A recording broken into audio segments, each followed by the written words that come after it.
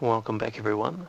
This time we're going to talk about TEC reliability. Now this will be a short video, not too much to say about it. Um, so, TEC reliability.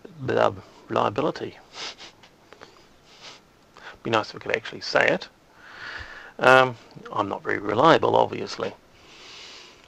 Okay, so enough faffing about. So let's talk about what happens if you have a TEC and you accidentally crack it. Now this happens quite a lot. It's pretty easy, especially to break a corner off, but it's also easy to crack it if you are clamping it between two surfaces that are not perfectly flat.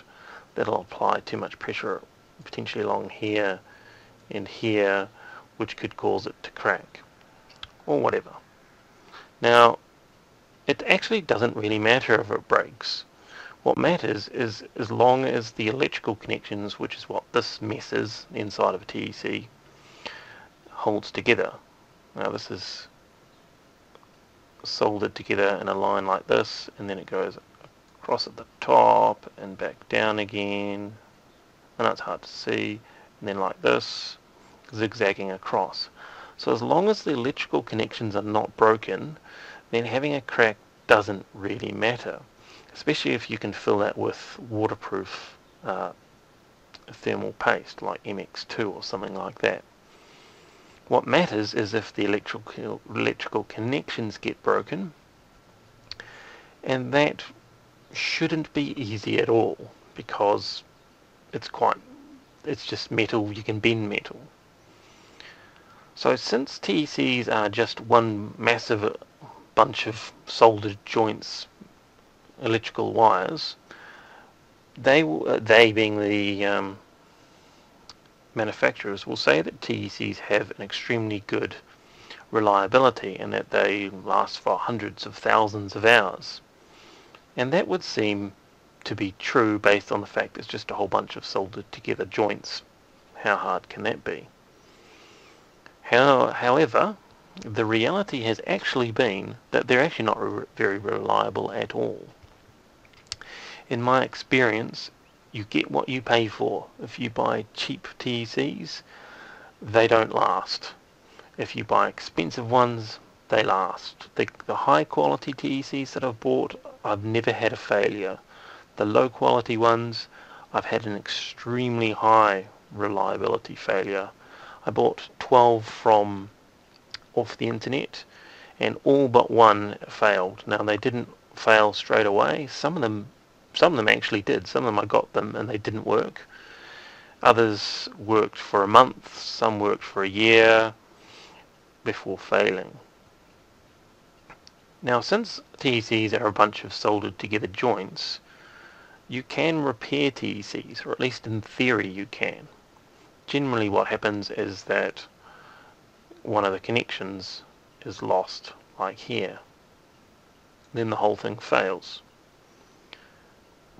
So you can take a TEC that stopped working and put it in the oven and heat it up.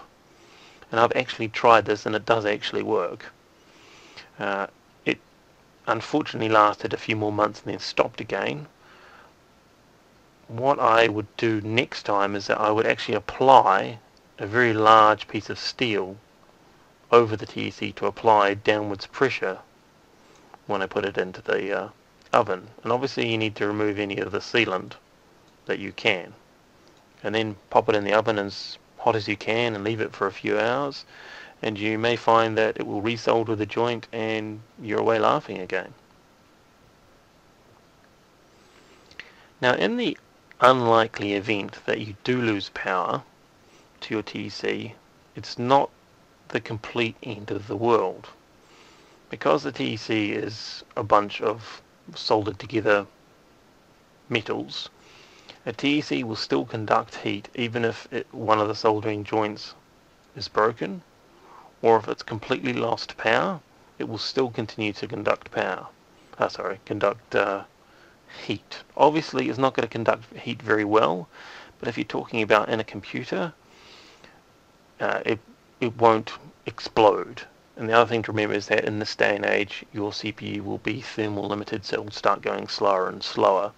If it is overclocked, it might might crash, but it's not actually going, well, not not, shouldn't cause any kind of significant long-term damage if your TEC loses power. And certainly at one point, I was not even powering my TECs. Like I could run I could probably make this video right now without actually having the TEC on. It'll, it conducts enough heat at idle, when a, PC, a PC's idle, to ensure that the CPU didn't get too hot and explode, which won't happen, but whatever. Sounds more exciting to say explode. So that's a short video on TEC reliability. Uh, in theory, they are extremely reliable, and if you pay for a good one, you'll have great reliability. If you don't, then what can I say? Alright guys, I shall see you on the next one. See you later. Bye bye.